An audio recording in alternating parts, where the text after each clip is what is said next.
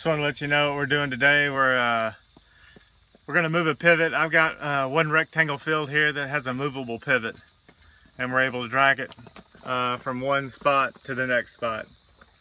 And uh, it's kind of a pain. I would rather have two, so I never have to move it. But uh, hay farmers, at least I don't make that much money, so. Um, that's what we're gonna do in this What, video. what else do we got? We've got, did you say we have two other center pivots and this is the only one that's movable? No, I didn't say that. You did. so that you know, that's basically what we're gonna do because I don't think we talk much during the video. So um, that's it.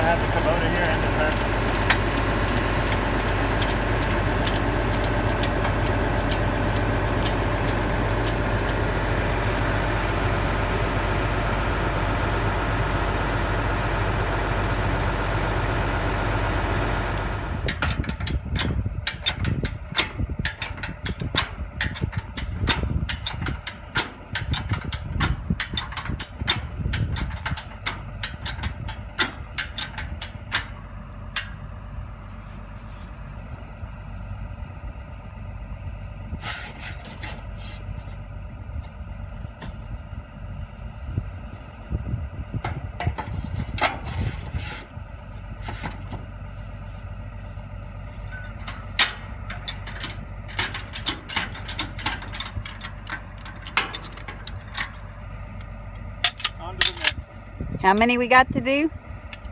Four cents.